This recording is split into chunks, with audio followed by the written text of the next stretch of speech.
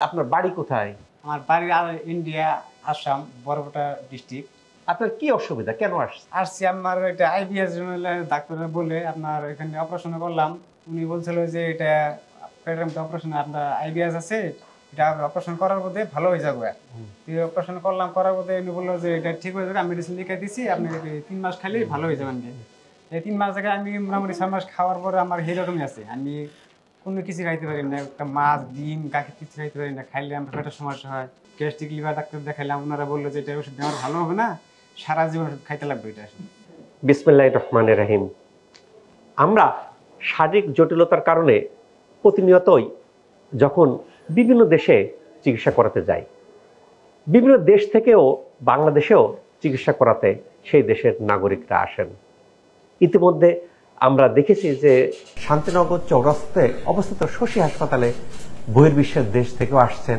আমাদের দেশ থেকে যেরকম রুগীরা ইন্ডিয়া যাচ্ছি বা থাইল্যান্ড যাচ্ছি বা সিঙ্গাপুরে যাচ্ছি, ইন্ডিয়া থেকে, সৌদি আরব থেকে, তুরস্ক থেকেও কিন্তু অনেক সেই দেশের নাগরিকরা আমাদের দেশে শশী হাসপাতালে বিভিন্ন টাইমে চিকিৎসা নিতে আসতেছেন। শশী হাসপাতালের অন্যতম বৈশিষ্ট্য হলো কিছু কিছু রোগ আছে। যে রোগগুলো সারা জীবন ওষুধ খেয়ে চলতে হয়, এখানে বিনা ওষুধে কোর্স কমপ্লিট করলে সেই রোগ থেকে মুক্ত থাকা যায় সম্ভব আজকে আমাদের পাশে একটা পেশেন্ট আসছেন।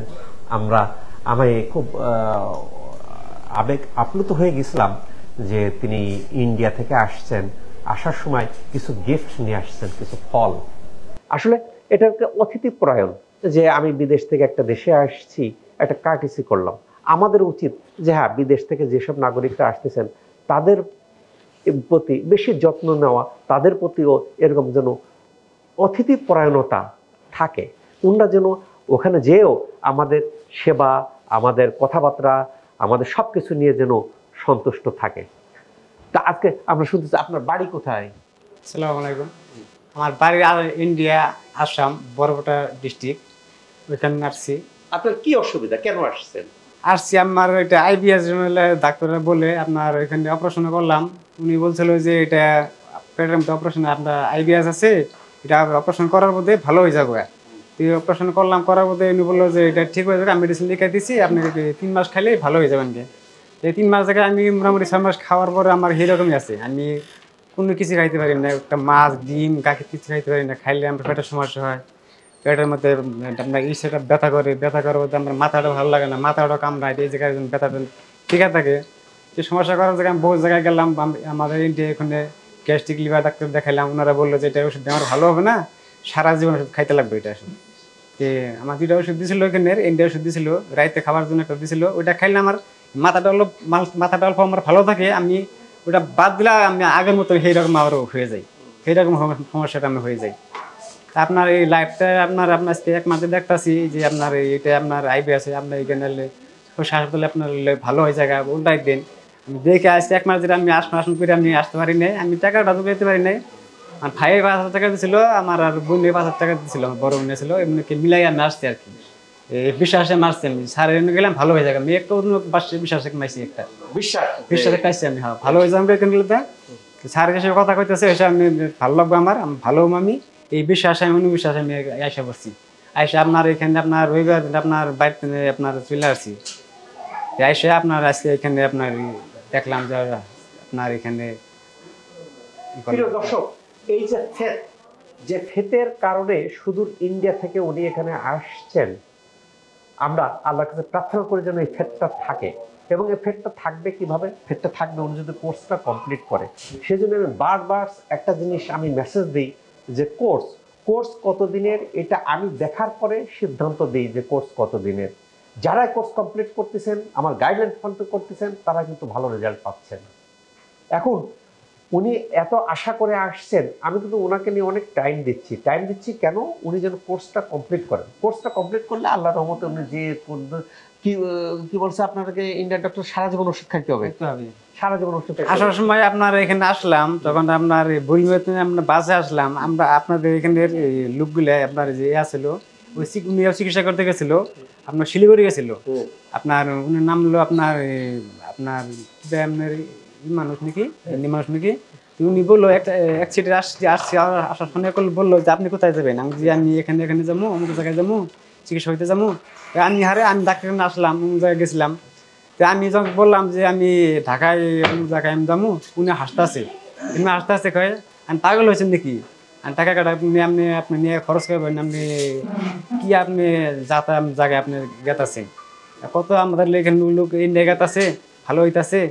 আমি বলছি, আমি তো ওখানে ইন্ডিয়া যাব জায়গায় আমি ঘুরছি। আমি তো ভালো হয়েছি আমার তো এরকম সব সমস্যা এরকম যা ওনার লাইফটা তো আপনি দেখেন নাই, তা আপনি দেখে নেবেন থেকে দেখে আপনি যদি মনটা আপনি ওখানে আসতে যাবেন। আপনি যদি এখানে ভালো না হন। এই মেয়ে ওনারা বলে দিছি। ওনার নাম্বারটা আমার দিয়ে দিছে। কিন্তু আমার বলছিল যে যদি ইয়ে হয় তাহলে আপনি বাড়িতে চলে যাবেন গে এগুলা ভালো হবে না। আমি আমার বিশ্বাস ওখানে ভালো হুম আমি বিশ্বাস আমি ছুটে এসে বলছি।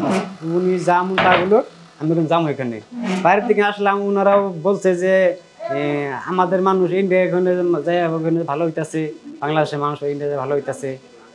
আমার বলছে যে ওখানে বাংলাদেশে অল্প অল্প হাসে। তা আমি বললাম যে আমি যাব এখানে, আমি আমি যেমন হইলাম, আমি এক মাস দিলে বিটে দেখতেছি আমি চলে যাব এখানে আইসে বসছি আইসে বসছি কথাটা কি বোঝা গেছে? কথাটা হলো, এর ইতিপূর্বে যারা ইন্ডিয়া থেকে ইন্ডিয়ান নাগরিকরা আমাদের কাছে আসছেন, তারাও ঠিক সেম কথা বলছেন। আসলে কি, প্রচলিত যে সিস্টেম প্রচলিত সিস্টেম যে আমাদের দেশের লোক ইন্ডিয়া যাবে, এটাই স্বাভাবিক। ইন্ডিয়া থেকে তাদের নাগরিকরা শশী হাসপাতালে আসতেছেন এটা আসলে কি অনেকেই এটা একটু আমি অভ্যস্ত না। কাজে আমি কি অভ্যস্ত? আমি এখান থেকে আমার এখানে ভালো হচ্ছে না ইন্ডিয়াতে যাতে ভালো হচ্ছি, এটা অভ্যস্ত।